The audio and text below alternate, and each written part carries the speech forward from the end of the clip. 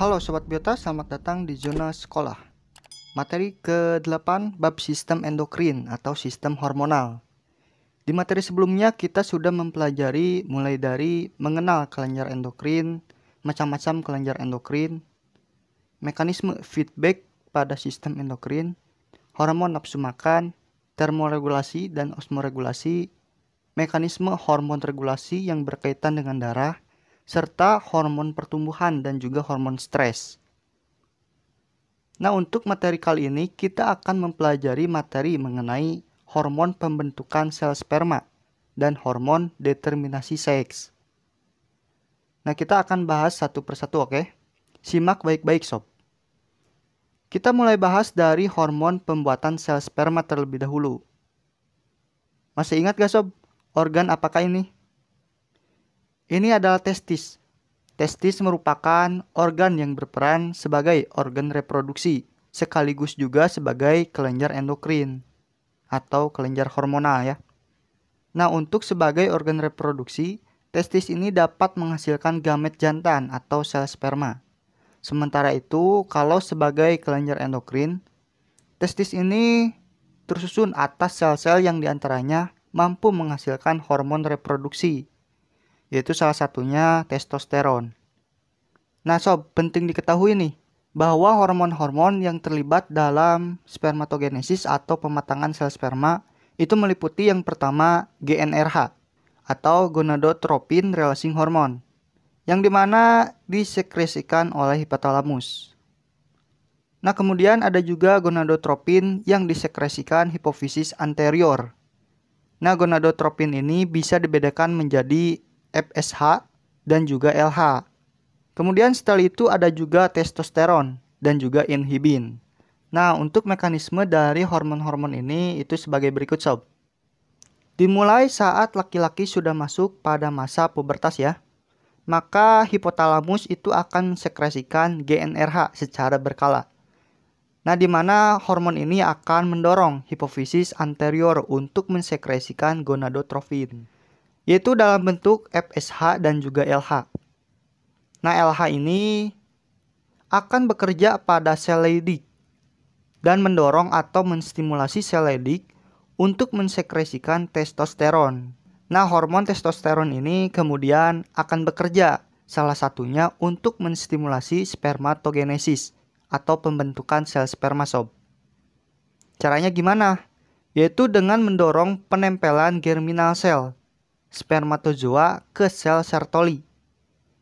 Nah, di saat yang bersamaan, FSH akan bekerja pada sel Sertoli dan mendorong sel Sertoli untuk dapat memfasilitasi proses spermatogenesis.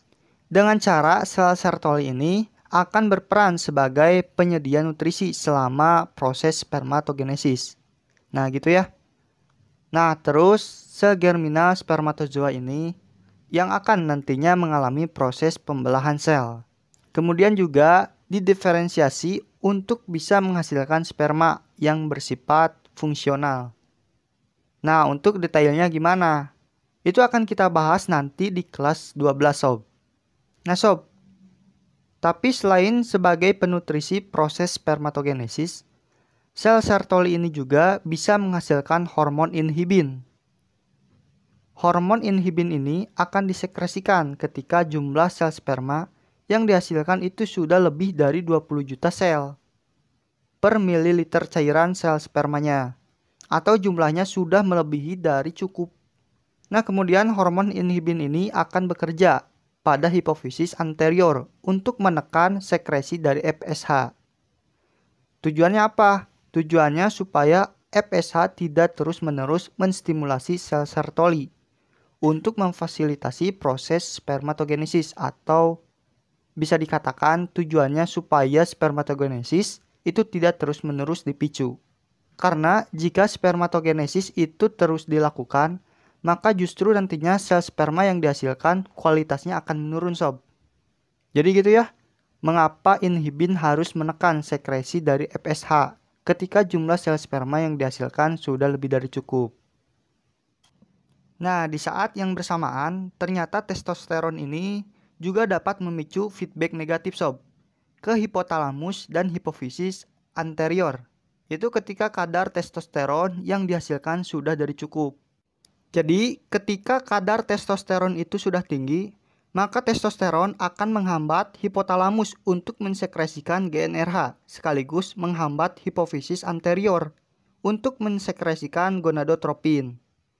Nah, tujuannya apa?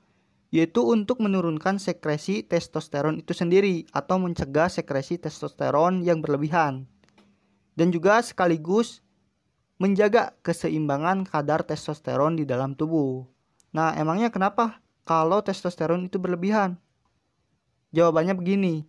Jadi, ternyata kadar testosteron yang berlebihan itu justru dapat menyebabkan spermatogenesis itu tidak dapat distimulasi dengan baik. Itu kenapa? Karena kalau kadar testosteronnya tinggi, sudah dikatakan tadi, itu akan menjadi stimulus yang menghambat sekresi GnRH dan juga gonadotropin.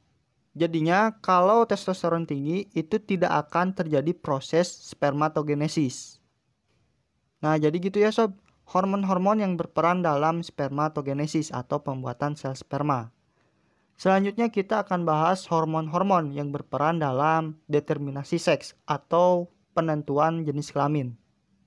Tapi sebelum itu, for your information sob, channel ini memiliki bab konten di antaranya zona sekolah, zona binatang, zona akuatik, zona tumbuhan, zona biobisnis, zona peliharaan, zona biotraveling. Channel ini dalam tahap pengembangan, maka akan sangat berharga bagi kami jika Sobat Biota semua membantu channel ini untuk berkembang, minimal dengan cara mensubscribe channel ini. Jadi, please for subscribe now.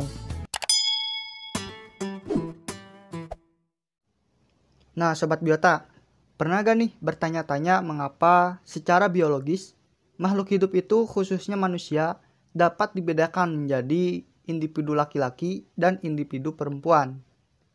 Nah, jawabannya karena salah satu perbedaannya adalah adanya perbedaan pada gonosom atau kromosom kelamin.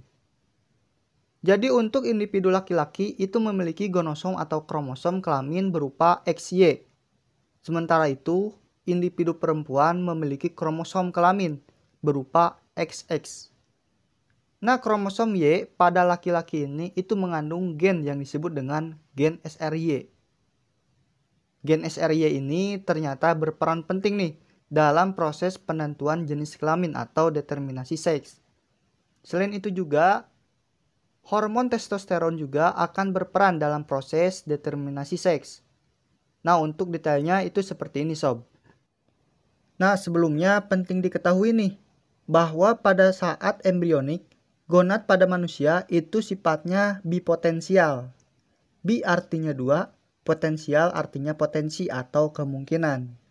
Ini dikarenakan gonad pada manusia hanya memiliki dua kemungkinan untuk berkembang menjadi testis atau berkembang menjadi ovarium. Jadi laki-laki atau jadi perempuan ya. Nah, gonad bipotensial ini juga memiliki dua saluran, yaitu ductus wolffian atau yang akan berkembang menjadi saluran reproduksi laki-laki, dan juga ductus mullerian, atau yang akan berkembang nantinya menjadi saluran reproduksi betina. Nah, salah satu dari kedua ductus tersebut nantinya akan dihambat perkembangannya. Demikian juga gonad bipotensial juga akan nantinya diarahkan untuk berkembang menjadi testis ataupun jadi ovarium ya. Nah, terus yang mengarahkan itu apa? Yaitu gen SRY ini. Jadi, gen SRY inilah yang akan menjadi penentu perkembangan gonad bipotensial. Apakah akan menjadi calon laki-laki ataupun perempuan? Nah, sob, kemudian gen SRY ini itu nantinya akan diterjemahkan menjadi protein SRY atau nama lainnya adalah TDF, Testis Determining Factor. Artinya berarti gen SRY ini akan mengarahkan gonad bipotensial untuk berkembang menjadi testis atau jadi gonad jantan. Nah sob, di testis itu kan ada sel Leydig dan juga sel Sertoli ya. Berarti ketika protein SRY atau TDF ini mengarahkan gonad bipotensial jadi testis, maka nantinya akan dihasilkan hormon testosteron yang di mana dihasilkan oleh sel Leydig ya dan juga AMH atau anti Murelian hormon yang dihasilkan oleh sel Sertoli pada testis embrio. Nah sob, testosteron ini nantinya akan memengaruhi atau mendorong perkembangan dictus wolffian menjadi saluran reproduksi laki-laki. Seperti pas deferens, pasticula, sampai skrotum. Nah, kalau AMH ini akan menghambat perkembangan ductus Mullerian menjadi saluran reproduksi betina. Jadi jelas ya, keberadaan dari gen SRY ini akan mendorong perkembangan gonad bipotensial menjadi testis dan juga dibantu oleh hormon-hormon testosteron serta AMH untuk mendukung perkembangan saluran reproduksi laki-laki lain. Nah, sekarang kita lanjut. Kalau di perempuan itu kan kromosomnya XX. Artinya perempuan ini tidak memiliki kromosom Y. Tidak memiliki kromosom Y itu berarti tidak memiliki gen SRY. Nah, kalau tidak ada gen SRY, maka tidak akan terbentuk protein SRY atau TDF. Berarti gonad bipotensial itu akan diarahkan untuk membentuk ovarium, bukannya testis ya. Nah, selain itu, kalau tidak ada TDF, kemudian gonad bipotensialnya itu tidak diarahkan membentuk testis, berarti tidak ada sel Leydig dan juga sel Sertoli. Nah, artinya tidak dihasilkan hormon testosteron dan juga tidak dihasilkan AMH ya. Nah, karena tidak ada AMH, berarti ductus Mulleriannya akan diteruskan berkembang untuk jadi saluran reproduksi wanita, seperti oviduk, uterus, dan juga vagina. Nah, kemudian karena tidak adanya testosteron, berarti ductus wolffian juga akan terdegradasi atau akan hilang. Dengan demikian, kalau tidak ada gen SRY, maka hal itu akan mendorong perkembangan gonad bipotensial menjadi ovarium, sekaligus memfasilitasi perkembangan ductus Mullerian menjadi saluran reproduksi pada wanita. Nah, jadi gitu ya untuk determinasi seks. Semoga apa yang saya sampaikan mulai dari hormon spermatogenesis sampai hormon determinasi seks tadi itu bisa dicerna, berfungsi dan hidup buat sobat biota semua. Jangan lupa tonton dan pelajari materi selanjutnya serta video pembelajaran lainnya. Jadi see you next video sob.